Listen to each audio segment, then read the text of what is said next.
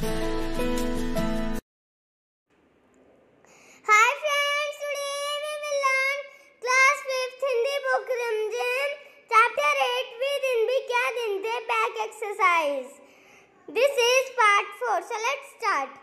First is कल्पना करो दोस्तों के साथ बात करके अंदाज़ा लगाओ कि 50 साल बाद इसमें क्या क्या बदल जाएगा? देखो, ये जो बातें लिखी हैं ना 50 इयर्स बाद 50 पचास साल के बाद क्या क्या चेंज आ जाएगा? फ़िल्मों में, गाँव की हालतों में, तुम्हारी प्रसिद्ध नदियों में और स्कूलों में, फ़िल्मों में आएगा कि फ़िल्मों में आधुनिकता अधिक प्रयोग की जाने लगेगी। फ़िल्मों में यह आएगा कि ये जो आधुनिकता है, वो ज़्यादा प्रयोग की जाएँगी। वह यह कम समय की हो जाएँगी और ये जो फ़िल्में अब कम समय की हो जाएँगी। गाँव की हालतों में काफ़ी सुधार हो जाएगा मतलब गाँव की जो हालतों में काफ़ी सुधार आएगा। गाँव में सभी सुविधाएँ उपलब्ध होगी, होने लगेंगी, जो कि अभी ये शहरों में ये सुविधाएँ उपलब्ध होती हैं, वो अब गाँव में भी होएगी पचास साल बाद।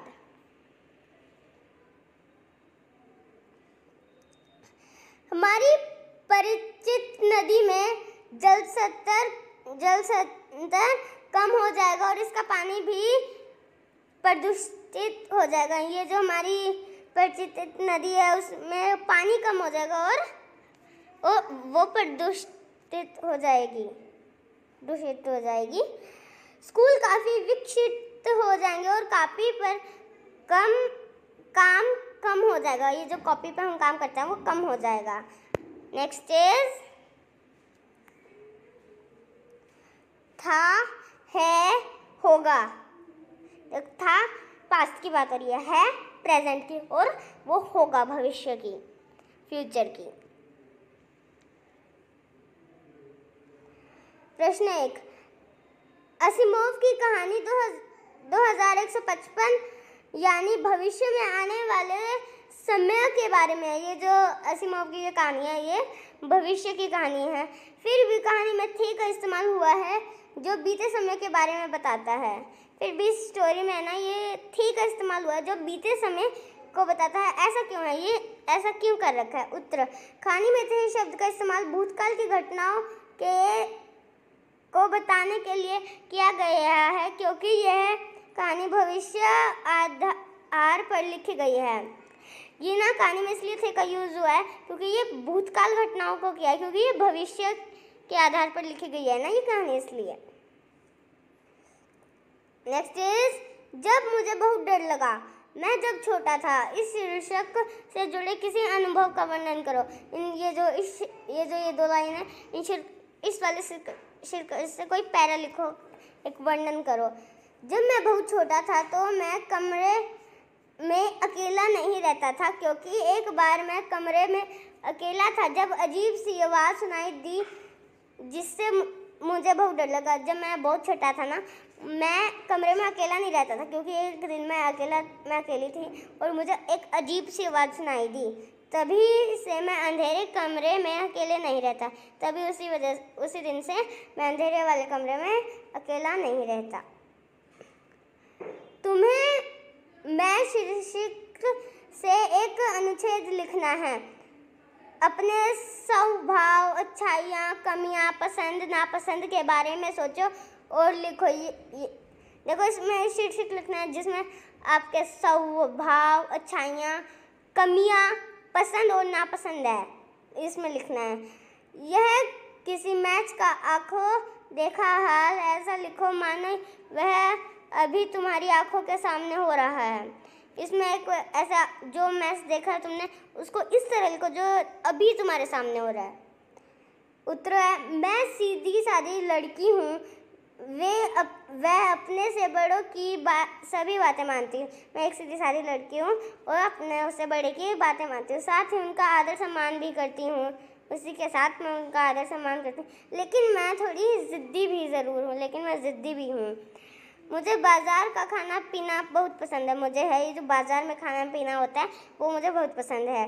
साथ ही मुझे खेलना बहुत अच्छा लगता है। इसके साथ मुझे खेलना भी अच्छा लगता है, लेकिन मुझे घर में अकेले रहना बिल्कुल भी पसंद नहीं है। अगर मुझे कोई घर में अकेला छोड़ दे तो मुझे वो बिल्कुल पसंद नहीं है।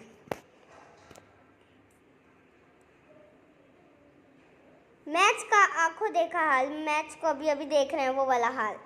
दर्शकों की मैदान में भीड़ लग, भीड़ है। जो दर्शकों की है, वो जो एक मैदान होता है, जिसमें मैच खेलते हैं उसमें बहुत भीड़ लग रखी है। बल्लेबाज गेंद खेलने के लिए बिल्कुल तैयार है। मतलब ये बल्लेबाज है, बैट्समैन है, वो बिल्कुल बॉल पे मारने के लिए तैयार है। रेडी है, खड़ा है, रेडी खड़ा है। इधर गेंदबाज गेंद लेकर भागने लगा। इधर ये जो बॉलर है, वो बॉल को लेके भागने लगा।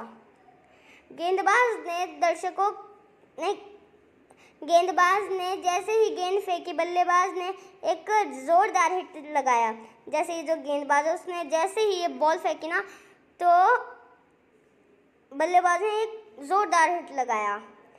गेंद सीमा रेखा की तरफ़ जा रही है और ये चार रन। ये जो गेंद है, वो सीमा रेखा के बाहर जा रही है और ये जो चार रन बनाए हैं, इसके साथ ही बल्लेबाज करने वाली टीम ने मैच जीत लिया है। इसी कारण ये जो चार रन बने हैं, ये बल्लेबाज, ये जो जिसने बल्लेबाजी की थी, उसका ये जो टीम थी, उसने मैच जीत लिया। सभी खिलाड़ी दौड़ते आए और अपने बल्लेबाज की पीठ थपथपाने लगे। सभी ये जो उस टीम के मेंबर है, वो भागते हुए आए और अपने बल्लेबाज की पीठ थपथपाने लगे। नेक्स्ट इज़ अगली छुट्टियों में तुम्हें नानी के पास जाना है। अगली छुट्टियों में तुम्हें अपने नानी जी के घर जाना है। वहाँ तुम क्या क्या करोगे? वहाँ जब तुम जाओगे तो क्या करोगे? कैसे वक्त बिताओगे? इस पर क्या एक अनुच्छेद लिखो? अपना वक्त कैसे बिताओगे? इस पर एक अनुच्छेद लिखो तो उत्तर, मैं अपनी नानी के घर जाऊँगी। मैं अपनी नानी के घर जाऊँगी। वहाँ मैं खेतों और बागों में घूमूँगी। मैं वहाँ खेतों में और बागों में घूमूँगी। मैं अपने नाना नानी से के साथ बहुत सारी बातें करूँगी, मैं अपने नाना और नानी के साथ बहुत सारी बातें करूँगी। मैं बकरी, गाय, भैंस आदि जानवर के साथ भी खेलूँगी। मैं मैं हूँ वो बकरी मतलब गॉट, गाय, काउस, भैंस बफेलो के साथ भी खेलूँगी। घोड़े की सवारी के अलावा मैं गाँव में मिलने वाली मिठाइयाँ तथा दूसरी खाने पीने की चीज़ों का भरपूर आनंद लूँगी।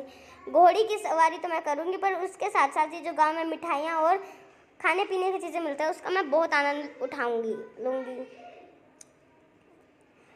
तुम्हें, तुमने जो तीन अनुच्छेद लिखे हैं, उनसे पहले का संबंध उनसे है जो बीत चुका है, जो तुमने ये तीन अनुच्छेद है ना इनमें ये जो सबसे पहला अनुच्छेद है उसमें है कि जो बीत चुका है। दूसरे में है, अभी की बात है और तीसरे के में बाद में घटने वाली घटना का वर्णन है, इस वाले में, बाद में जो घटना घटेगी उसका वर्णन है और दूसरे में ये अभी की बात चल रही है। इस अनुच्छेद में इस्तेमाल किए गए क्रियाओं को क्रियाओं को ध्यान से देखो। ये जो इन अनुच्छेदों में क्रिया इस्तेमाल किया, उनको ध्यान से देखो।